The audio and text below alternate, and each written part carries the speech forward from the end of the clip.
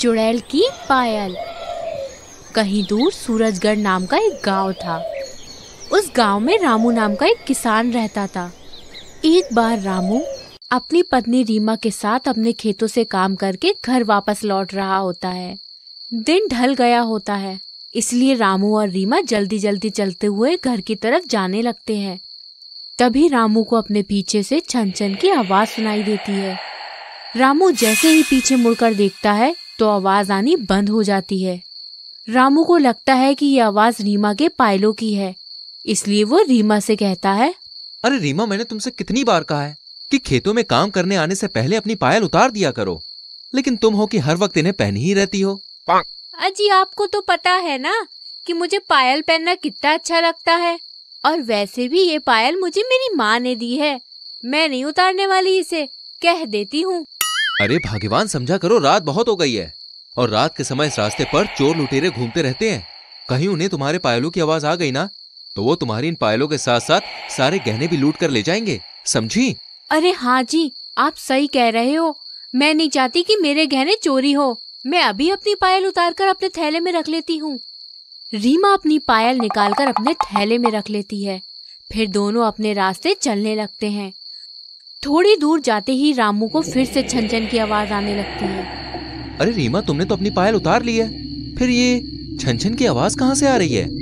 लगता है कोई हमारा पीछा कर रहा है। अजी ये आप क्या बोल रहे हैं? मुझे तो कोई आवाज़ नहीं आ रही। और देखिए पीछे तो कोई भी नहीं है। शायद ये आपका वहम होगा। हाँ रीमा शायद तुम ठीक कह रही हो। मैं भी पता नहीं क्या क्या सोचने लगा था। ये बोलकर दोनों आगे बढ़ने लगते हैं। तभी रीमा को भी अपने पीछे से पायलों की आवाज़ आती है। रीमा जब पीछे मुड़कर देखती है तो उसे सड़क पर पायल पड़ी हुई दिखाई देती है। अजी, देखिए तो ये सड़क पर किसकी पायल पड़ी हुई है? अरे, ये पायल तो सोने की लग रही है।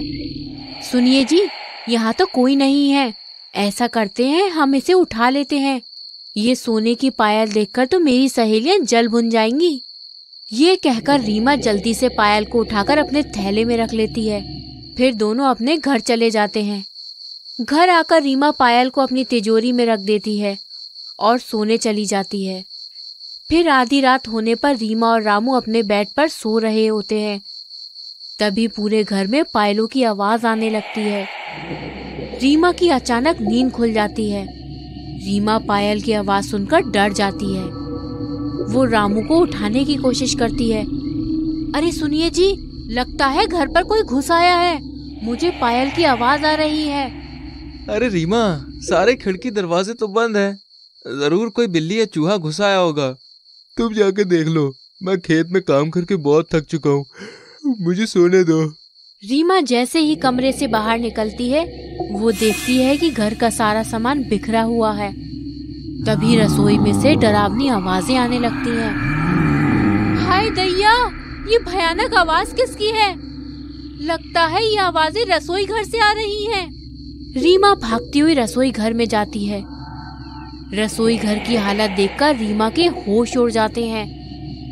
रसोई घर का सारा सामान बिखरा होता है और पूरे कमरे में गंदी बदबू फैली होती है। हे भगवान मेरे घर का ये हाल किसने किया होगा? तभी रीमा पर रसोई की छत से खून की बूंद टपकती है। रीमा जैसे ही ऊपर देखती है उसे छत से लटकती एक भयानक चुड़ैल नज़र आती है। रीमा ये सब देखकर बहुत डर जाती है और भागती हुई सीधा रामू के पास जाती है। अरे चुड़ैल चुड़ैल सुनिए जी जल्दी उठिए।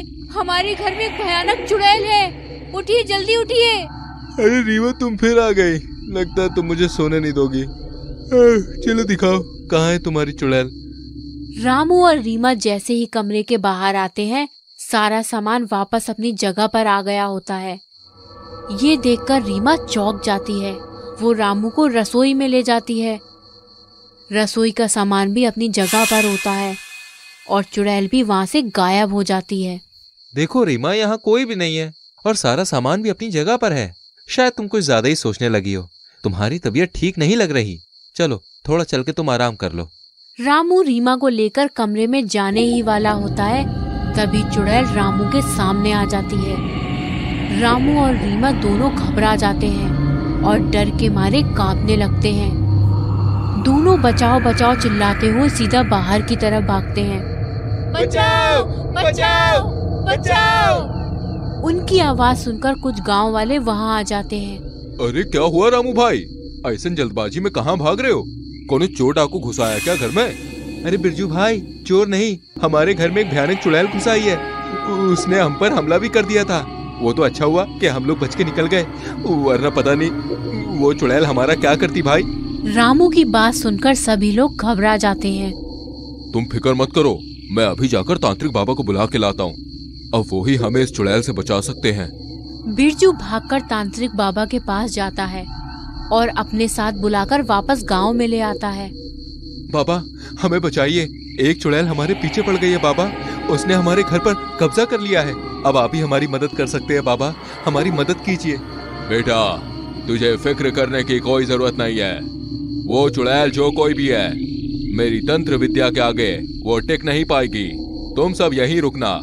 मैं अभी अंदर जाकर उसको भस्म कर देता हूँ। तांत्रिक बाबा घर के अंदर चले जाते हैं और दरवाज़ा अंदर से बंद कर देते हैं। अरे ओ मूर्ख चुड़ैल कहाँ है तू? सामने आ मेरे जल्दी से। बाबा की आवाज़ सुनकर चुड़ैल सामने आ जाती है। अरे गुलाम चुड़ैल आ गई तू? बहुत खूब। तूने लोगों को बहुत ज़्यादा डरा दिया है। मुझे तुझसे यही उम्मीद थी। मैं तुझसे बहुत खुश हूँ। बस इसी तरह मेरे लिए लोगों को डराने का काम करती जा। फिर देखना मैं इन गाँव वालों से पैसा ऐड कर इस गाँव का सबसे अमीर आदमी बन जाऊँगा।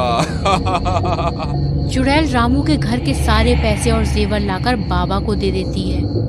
फिर बाबा उन रुपयों को अपने थैले में रख लेता है। सुन चुड़ैल अब मैं यहाँ से जा रहा हूँ। तू यहाँ से निकलकर पुराने खंडर पे आ जाना। फिर मैं तुझे अपने अगले शिकार का पता बताऊँगा। चल अब जल्दी से यहाँ से निकल जा। और हाँ वो सोने की पायल तू मुझको दे दे ताकि मैं फिर से नया शिकार फंसा सकूँ। बाबा पायल लेकर घर से बाहर आता है। सुनो गाँव वालों अब तुम लोग को डरने की कोई ज़रूरत नहीं है। वो चुड़ैल इस पायल के कारण तुम्हारे घर में आई थी और मैंने उस चुड़ैल को इसी पायल में कैद कर लिया है। अब तुम सब सुरक्षित हो। अब मैं यहाँ से चलता हूँ। सभी लोग बाबा को धन्यवाद करते हैं। फिर बाबा वहाँ से चला जाता है। तभी रामू देखता है कि सोने की पायल ज़मीन पर गिरी हुई है। अरे ये क्या? बाबा ने तो भूतिया पायल यहीं गिरा दी है। अरे रामू भाई हमें जल्दी से पायल उन तक पहुँचानी होगी। नहीं तो चुड़ैल वापस फिर से आ जाएगी। फिर रामू और बिरजू कुछ गाँव वालों के साथ पायल को लेकर जल्दी से बाबा के खंडर में जाते हैं। बाबा खंडर में चुड़ैल से बातें कर रहा होता है। सभी लोग छुपकर बाबा की बातें सुनने लगते हैं। अरे तांत्रिक, मैंने तेरा क्या बिगाड़ा है? तू मुझे छोड़ क्यों नहीं देता? तू आखिर कब तक मुझसे इन भोले गाँव वालों को डराने का काम करवाता रहेगा? मुझे ये सब अच्छा नहीं लगता। तू मुझे आज़ाद क्यों नहीं कर देता? अरे चुप कर चुड़ैल। मैं तुझे ऐसी थोड़ी ना छोड़ दूँगा। जब तक तू मुझे अमीर नहीं बना देती मैं तुझे कहीं जाने नहीं दूँगा। समझ गई? अब मैं तुझे पायल देता हूँ। उसे ले और अपने काम पर लग जा। सभी लोगों को तांत्रिक बाबा की असलियत पता चल जाती है। अच्छा तो ये बात है? ये चुड़ैल तांत्रिक की गुलाम है। और तांत्रिक इसकी मदद से गाँव वालों को लूटने का काम करता है। सुनो साथियों हमें इस तांत्रिक को सबक सिखाना ही होगा। फिर सभी लोग लाठी और डंडे के साथ बाबा के खंडर में घुस जाते हैं और उसे घेर लेते हैं। बाबा हमें तुम्हारे कारनामों के बारे में पता चल चुका है। अब तुम हमसे बचकर भाग नहीं सकते। तांत्रिक गाँव वालों को देखकर वहाँ से भागने लगता है। तभी चुड़ैल उसे पकड़ लेती है। चुड़ैल तांत्रिक को मारने वाली ही होती है। तभी तांत्रिक अपनी जान की भीख मांगने लगता है। हम इस तांत्रिक को पुलिस के हवाले कर देते हैं और पुलिस ही तांत्रिक को सजा देगी और फिर ये तांत्रिक उसके बाद दोबारा ऐसी गलती नहीं करेगा। चुड़ैल रामू की बात मान लेती है और तांत्रिक को छोड़कर वहाँ से चली जाती है। तांत्रिक सारे गाँव वालों का चुराया हुआ रुपया उन्हें वापस कर देता है और वो खुद पुलिस के हवाले हो जाता है। भूत या गन्ना रस वाला रामू के खेत में इस बार बहुत ही अच्छे गन्ने की फ़सल हुई थी। इसलिए रामू ने इस बार गन्ने की रस की दुकान अपने खेत के सामने लगाई। रामू बिल्कुल ताज़े गन्ने से रस निकालकर अपने ग्राहकों को देता, जिसके कारण कुछ ही दिनों में दूर दूर तक उसके गन्ने के रस की चर्चा होने लगी और लोग उसकी दुकान पर आने लगे। गन्ना रस तुम भी पी लो रे, गन्ना रस ले लो रे। ले लो रे गन्ना रस ले लो रे। अरे रामू भाई एक ग्लास गन्ने का रस देना तो। जब तक दिन में एक बार तुम्हारी दुकान का गन्ना का रस न पी ले तब तक शरीर हमारा तरोताजा होता ही नहीं है। तुम्हारे गन्ने के रस का तो भाई मज़ा ही अलग है। अरे लो ना भाई तुम्हारे लिए ही तो दुकान खोली है। अब भाई हम तुमको रसीले गन्ने का रस पिलाते हैं। इसी तरह एक के बाद एक रामू की दुकान में लोगों की लाइन लगी रहती।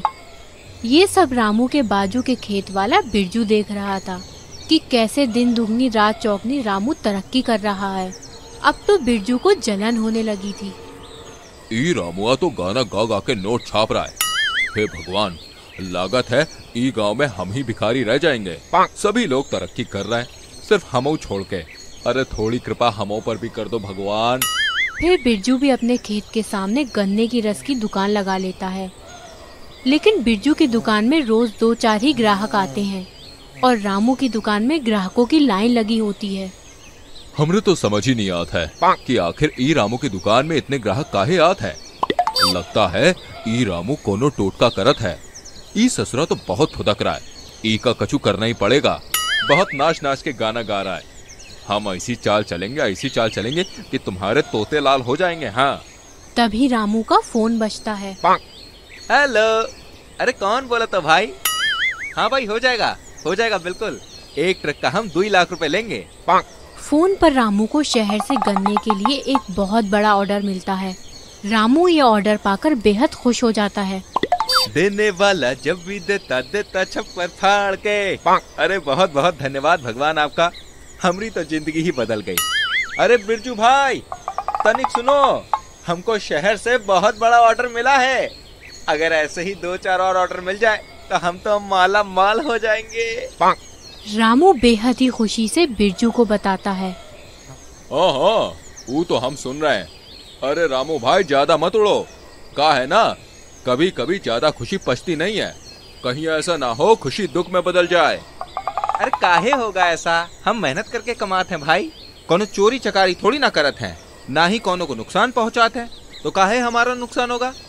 अरे तुम देखते जाओ भैया हम बहुत मेहनत करेंगे और इतना पैसा कमाएँगे इतना पैसा कमाएँगे कि एक दिन अपने परिवार वालों को सारी सुख सुविधा दे पाएँगे। अच्छा चलो भैया हम चलत हैं।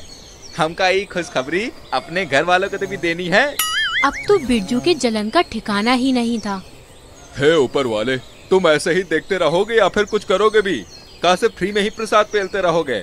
लागत है हम तो प्रसाद चढ़ा चढ़ा के कंगाल हो जाएँगे। दूसरे दिन सुबह खेत में आकर रामू ट्रक में गन्ने भरने लगता है। जलन में आकर बिरजू रामू को नुकसान पहुँचाने के लिए एक तरकीब लगाता है। जब रामू ट्रक में गन्ने भर रहा होता है उस समय बिरजू रास्ते में आगे जाकर सड़क में बहुत सारे नुकीले पत्थर कांच और कीले डाल देता है ताकि रामू की गाड़ी का बैलेंस बिगड़ जाए और सारे गन्ने गिर जाएँ। अब देख बेटा कैसे हम तुहार ज़िंदगी झंड करते हैं। फिर बिरजू वहाँ से वापस आ जाता है।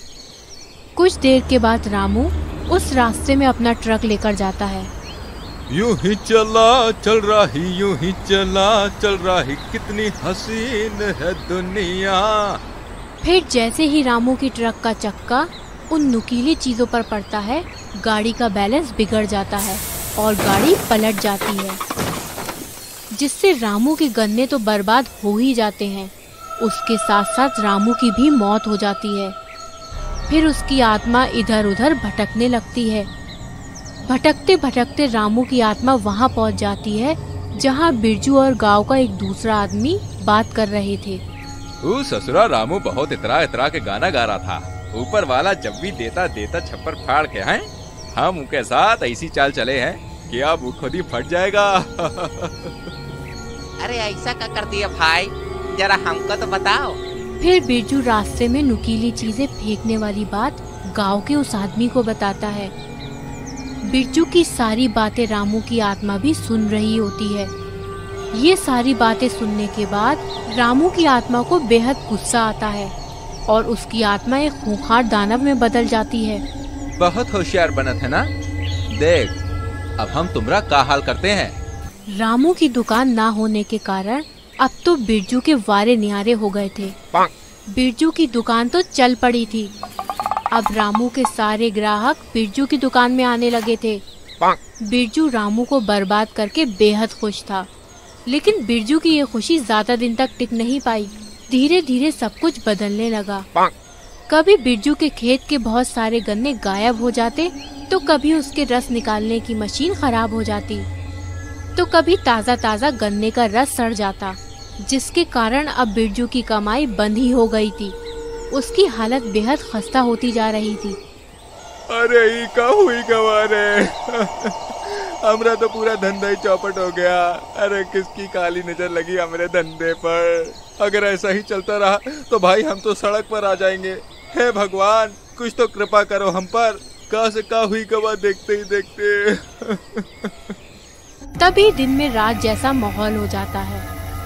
और बेहद ही डरावनी हंसने की आवाज़ चारों ओर गूंजने लगती है। बिरजू के खेत के गन्ने हवा में उड़ने लगते हैं। आसमान से बारिश बरसने लगती है। तभी रामू की आत्मा वहाँ पर आ जाती है। अरे अरे ई सब का हो रहा है? हे भगवान, हमका बचा लो। भले हमरा धंधा ठप कर दो, लेकिन ऐसा मत डराओ। अरे, भाड़ में जाए ई गन्ना और ऊका रस। अरे, भाग रे बिरजू, अपनी जान बचा, भाग। यहाँ तक भागोगे बिरजू धोखा और पाप करने वाले लोगों पर भगवान कभी भी कृपा नहीं करते। बिरजू बहुत डर जाता है और उसकी आवाज़ हकलाने लगती है। तु, तु, तु, तु, तुम तुम कौन भाई? हमने तो किसी का कुछ नहीं बिगाड़ा है। अरे हम तो बहुत सीधे आदमी है भाई। हम रामू की आत्मा है। और वो का कहा तुमने? तुमने किसी का कछु ना बिगाड़ा है। अरे तुमने तो हमरे बीवी और बच्चे का पूरा जीवन ही बर्बाद कर दिया। तुम्हारी जलन और ईर्ष्या के कारण हमारी जान चली गई। आज हमरे बीवी और बच्चे दर दर की ठोकरें खा रहे हैं। दाने दाने के लिए तड़प रहे हैं वो, और भीख मांगने की नौबत आ गई है। हमको माफ़ कर दो रामू, हमने कभी नहीं सोचा था कि हम जो करने जा रहे हैं, उससे तुम्हारी मौत हो जाएगी। अरे हम तो सिर्फ़ और सिर्फ़ तुम्हारा नुकसान करना चाहते थे, ताकि हम तुमसे आगे बढ़ पाए और ज़्यादा पैसा कमा पाए। अरे हम क्या, तुमको तो भगवान भी माफ़ नहीं करेंगे? जो आदमी अपने मन में दूसरों के लिए जलन की भावना रखते हैं, अंत में उनका जीवन बर्बाद हो जाता है। तुमने तो सुना ही होगा ना, जो दूसरों के लिए गड्ढा खोदता है, वो खुद उस गड्ढे में गिर जाता है। अरे दूसरों का नुकसान करके गलत तरीके से पैसा कमाने वालों की भगवान कभी मदद नहीं करते हैं। अगर तुमको ज़्यादा पैसा कमाना था तो तुम भी हमारी तरह ईमानदारी से मेहनत करते, तुम भी पैसे कमाते। भगवान भी उसी की मदद करते हैं, बिरजू, जो ईमानदारी से मेहनत करते हैं। अरे हमको माफ़ कर दो, हमारी जान बख्श दो प्लीज़ हम तुमका एक ही शर्त माफ़ करेंगे। उस दिन हमरा जितना भी नुकसान हुआ था, ऊ का पूरा नुकसान तुम्हें भरना होगा। उसके साथ हमारे बीवी बच्चों की आर्थिक मदद करनी होगी, ताकि उन्हें कोनो तरह की कोई तकलीफ़ ना हो। अगर तुमने ऐसा नहीं किया तो हम तुमको मार देंगे। अरे हम तुमसे वादा करते हैं भाई, हम तुम्हारे घर वालों की देखभाल जीवन भर करेंगे, सच्ची। एक बात हमेशा याद रखना बिरजू गलत तरीके से कभी पैसा नहीं कमाया जा सकता। जो आदमी पैसा कमाने के लिए गलत तरीका चुनत है, वो की सफलता कुछ समय के लिए होती है। और हाँ ये भी याद रखना, दूसरों से जलन और ईर्ष्या करने वाले लोग अपने जीवन में कभी आगे नहीं बढ़ सकत। इसलिए शॉर्टकट में नहीं, ईमानदारी से मेहनत करने पर भरोसा कर। हाँ मज़ा आया ना कहानी देख के? तो जल्दी से हमारी वीडियो को लाइक करो और शेयर करो। और ऐसी और कहानियाँ देखनी है तो चैनल को सब्सक्राइब करो। और हाँ घंटी को दबा देना। मिलते हैं एक और कहानी के संग। ख्याल रखना।